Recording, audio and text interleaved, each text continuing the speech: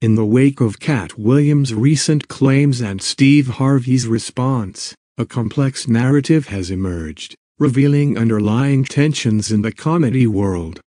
Harvey, seemingly addressing Williams' accusations, cautioned against being deceived by eloquence and emphasized the need to differentiate between truth and deceit.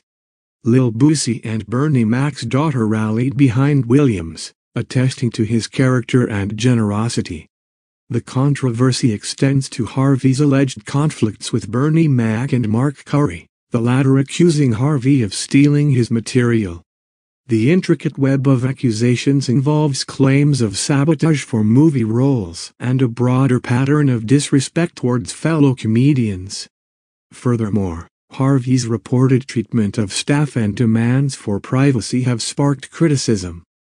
Despite Harvey's denial of wrongdoing, the multiple allegations paint a picture of a comedian facing scrutiny for his actions within the industry. As the debate continues, the comedy community grapples with questions about authenticity, respect, and professional conduct.